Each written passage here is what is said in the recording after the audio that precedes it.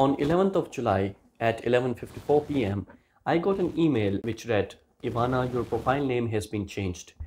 At first glance, I thought that it was some kind of a spam email because in today's day and age, you tend to get a lot of e spam emails on your primary email. But upon opening that email, I found out that it wasn't actually spam. It was a legit email from LinkedIn. Now, the problem was it was my account which was compromised.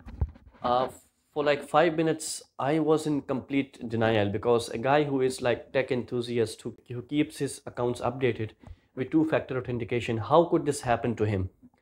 Now I had to keep myself calm and I had to first of all recover that account. But as bad as it should get, the internet wasn't working. So the broadband connection was undergoing some maintenance and at the same time my Telenor 4G network was not working. This was one of the worst things that could happen if your online account gets hacked.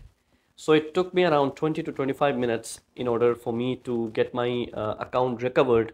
Like first of all, I had to change my password and then I had to go and delete everything that has been posted on, on that account. Now it took me around 25 to 30 minutes because of the net connectivity, but thankfully I had my backup email written over there and also phone number was updated.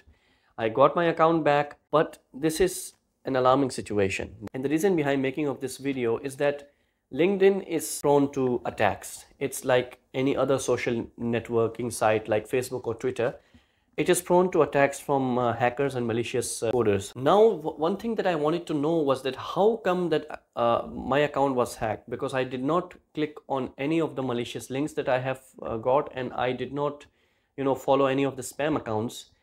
So I, I got one thing in my mind that no matter what you do, no matter if you do not follow any account, no matter if you do not click on any phishing uh, sites, your account can get compromised. See, LinkedIn has been, uh, you know, crowded with so many spammers and so many hackers because obviously it is a place where people would try to apply for a job and they would think that obviously, uh, you know, genuine and legit recruiters will be there in order to reply to your messages. But it's not the case. There are a lot of uh, scammers. There are a lot of uh, hackers over there and you have to be vigilant in order to search for a legitimate, uh, you know, job opportunity in, over there.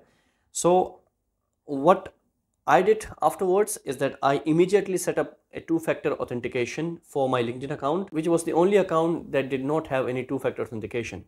Now there are two options. Either you set up the two-factor authentication linked to your phone number or you set up it through an external uh, thing like an authenticator application.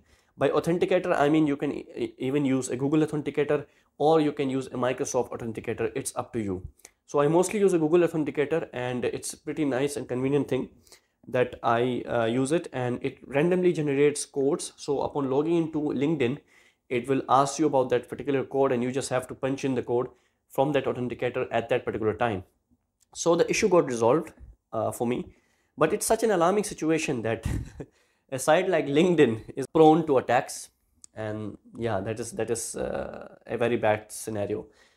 So this is what i wanted to share with you guys. Hope you like this video. And if you did make sure to give this video a thumbs up and subscribe to my channel. I'll be posting more videos like this soon as you guys have seen that i have uh, recently crossed 1000 subscribers on youtube so there is a special video coming uh, in the future for that particular 1000 uh, uh, subscribers but the thing is that uh, there has been considerable delay because of other commitments so i'm not you know focusing on the channel uh, fully. So therefore, it will take a while for that 1000 subscriber video to be posted on the channel soon.